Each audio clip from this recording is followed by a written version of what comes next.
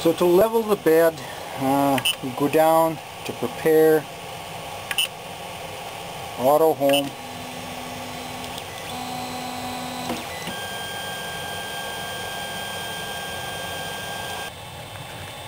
and that auto home function then moves the uh, moves the bed and the extruder over to, to this corner and puts the z-axis right down at the bottom position.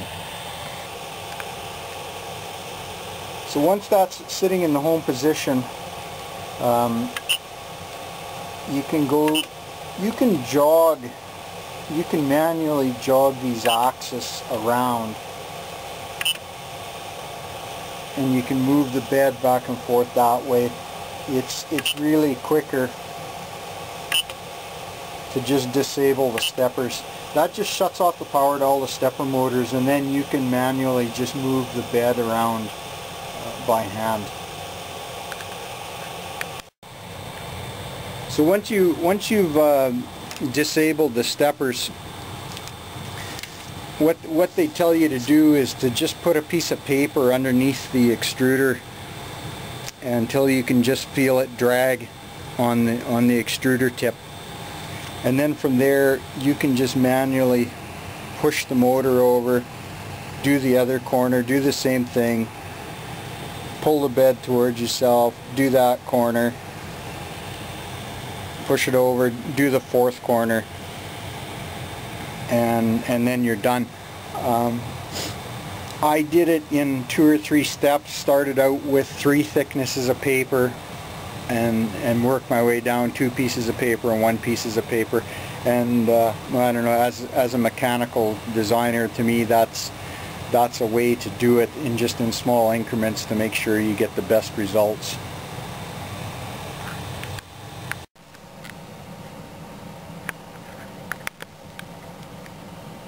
Okay, so you know I realize this isn't the best looking at a computer on the on a screen, but whatever. I'm I'm no professional. Um, so this is the Creality CR10 uh, Facebook page. Uh, you know, you go on and do a search for Creality CR10 to find it. Um, and these guys are very helpful. You know, most of my questions were answered within within half an hour uh, of of posting a question. Um, so they're, they're, each unit comes with a micro SD card and on the SD card there are instructions okay and I didn't even realize that. I didn't know that there was so I was I was really working blind now after the fact. Now I find the instructions. So they do give instructions for loading the Cura software which is your slicing software. The version that comes with it is an old version. Um, you know, and maybe you'd be better off loading that older version and starting off with it. I, I you know, I don't know.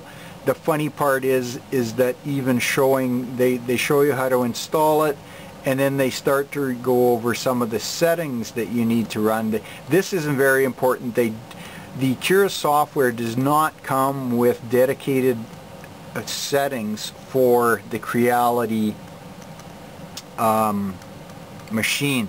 So it's important when you're installing it, I don't know whether you can see that or not, but when you're installing it, it says what kind of machine do you have, and you select other, and then they recommend selecting a Prusa Mendel i3.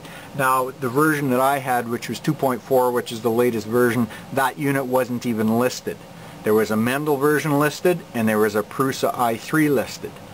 So I picked the Prusa i3 and that seemed to be seems to be working okay.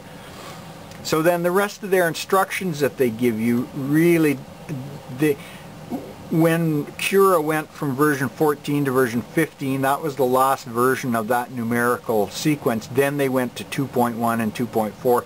The whole interface is quite different. So the instructions that they give you on their online instructions don't really apply to the new software. These settings are there, but you have to go look in different places to find them. And the other thing that I find really odd is that they're giving you instructions on here for setting you for doing your settings, but they've only got the CR5 and the CR7 listed. They don't even have the CR10. So you know, you're going to have to go into and make a few settings. Your maximum width, you know, you got to set it at 300, your maximum depth 300, and your height I think is 390, and you have to click your heated bed. That's that's important too. So they go through all these parameters. Um, and and so the ones that are circled, they're important. You go, it's going to take you a while to find them in the new format if you use the new software, but you'll find them eventually. Um, once that's done, you can also go to the Facebook page, and once you become a member and you go look under Files, there are uh, Cura profiles in here where people have already done a lot of the pre-settings for you. So there's this one, Cura 10. I don't know what Ocarina is, but whatever. That one seems to work pretty good. And there's another one here, the CR10 uh, settings from Facebook groups is another one that, that they all, they're all pretty similar to one another and they're all set up for PLA, to, to print PLA. So I've tried both of those and they both, they both worked okay for me.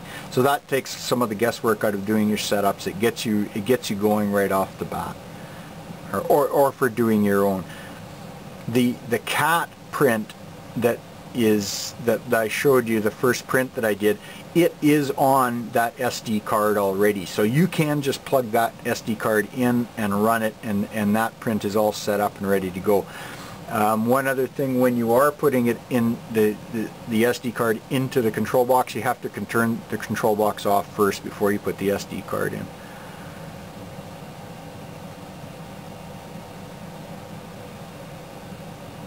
So I don't, I don't know whether there's really anything else in here to to really talk about or not. They do go into, although it's all half in Chinglish here, they do go through some of the other settings about changing your, your layer depths and everything. So if you are having trouble with your prints, you can probably learn a little bit by going through this documentation that, you know, they, they talk about infill percentage and top thickness and bottom thickness and stuff like that.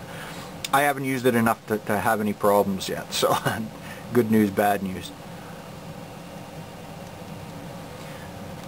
So this is the Cura software and this this is going to be my my next print. So this is version 2 2.4. So once you start and you look at configuring Cura and you look under printers. So there's my printer this, that I named CR10 Prusa i3 and it is active. Now this is where most of the machine settings are or some of them like there's your sizing and and uh, your heated bed that they and stuff like that. So I did other than setting that I didn't change any of the other settings manually. And then when you go down here to profiles here's where you can assign different profiles so there's right there's the Creality CR10 settings from Facebook and there's that Ocarina, whatever profile from the Facebook group. So if you're going to be printing different types of uh, filament, this is where you create a new profile for your different type of filament. And that's how you control what the machine is going to print, how it's going to print. So other than that, it is really very simple. You just you drag in your STL file. So here's the next prints that I'm going to do. I've got, and I'm actually going to do two parts at once. You just drag them in. That's it. It's done. You drag them in, you position them the way you want them, and every time you change something, they automatically update, and down here in the, in the bottom right-hand corner, you know, it says ready to save file, and you can just save the file to your SD card. Once you save your file to your SD card, you just take it over, plug it in the machine, put the SD card in the machine, turn it on. Um, you can preheat the extruder or you can just go through the menu and print from SD card.